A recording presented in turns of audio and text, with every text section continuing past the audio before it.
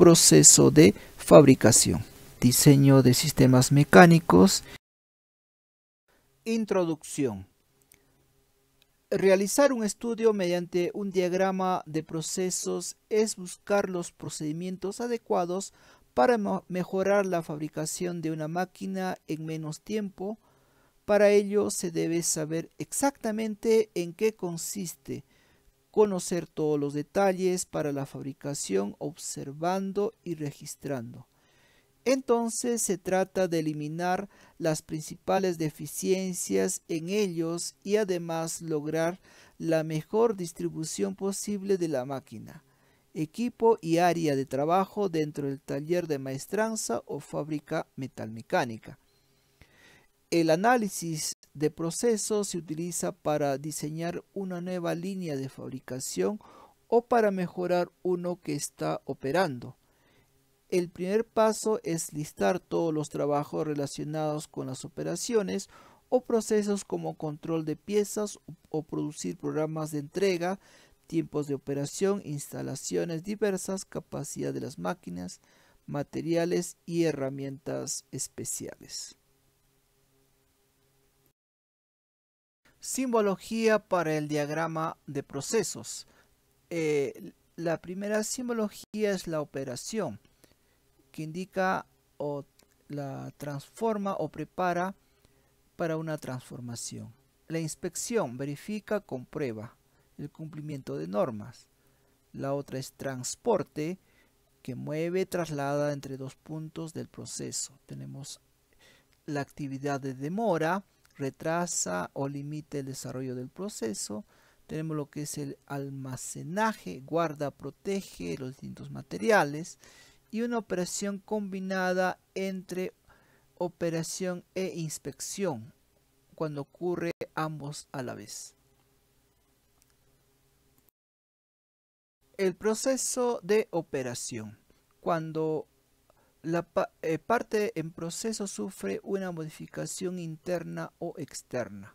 Indica la realización de una actividad específica la pieza, materia o producto se modifica durante la operación. Como por ejemplo el, clavar, el taladrar, el pulsar un teclado, el, el torneado, el fresado, entre otros. La actividad de inspección. Cuando se examina un objeto para su identificación o para comprobar el estándar indica que se verifica la calidad, cantidad o ambas. Ejemplos, leer un indicador, examinar la información impresa, examinar la calidad del material o producto, ¿no? En este caso tenemos, por ejemplo, también examinar la calidad, leer un manómetro eh, o examinar eh, todo lo que sería los impresos de algunos equipos de inspección. La actividad de transporte. Cuando la pieza se mueve de un lugar a otro, el desplazamiento debe ser, eh, por ejemplo, de 1.5 metros o 5 pies. Eh, bueno, eh, indica el movimiento de los trabajadores, materiales y equipo de un lugar a otro. Ejemplo, mover alimentos en carretilla, trasladar tinas por medio de un transportador, transportar cajas con grúa, entre otros la actividad de almacenaje. Cuando se guarda y protege un objeto.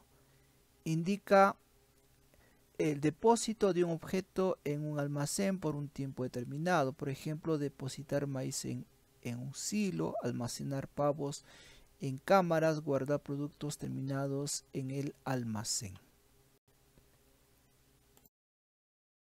La actividad de demora cuando una pieza no se puede procesar inmediatamente al llegar a la siguiente estación.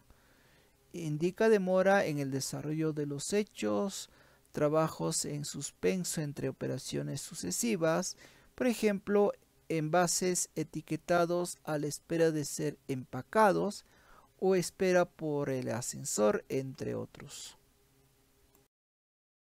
Diagrama de operaciones de procesos. Se utiliza para registrar las principales operaciones e inspecciones, con el fin de planificar, analizar y mejorar un proceso sin tener en cuenta quién ni dónde se lleva a cabo, ya que es más barato ajustar los cambios en el papel que en la práctica. De la teoría a la práctica. Presentamos el ejemplo de, del diagrama de flujo del proceso de fabricación de, de una mini turbina hidráulica, donde en el diagrama observamos que salen los materiales de almacén, eh, se trabaja en paralelo lo que es la, eh, en, la columna principal la estructura, pero paralelamente trabaja el mecanizado del eje, de las poleas y también toda la información en cuanto a planos también es necesario finalmente tenerlos eh, al, momento del ensamble. Una vez que es ensamblado, finalmente retorna la máquina fabricada al, almacén. De acuerdo a este reporte nos dice que el tiempo total es de 17 horas. Conclusiones. Es muy útil desarrollar habilidades necesarias para la realización del diagramado de procesos y actividades bajo criterios de simplificación del trabajo. Otra conclusión nos dice que los diagramas del proceso de fabricación son herramientas necesarias para modificaciones y optimizaciones de procesos. Ellos nos ayudan a analizar el estudio, además de darnos una idea de cómo quedará el método a implantar al representar de una forma gráfica los cambios a efectuar.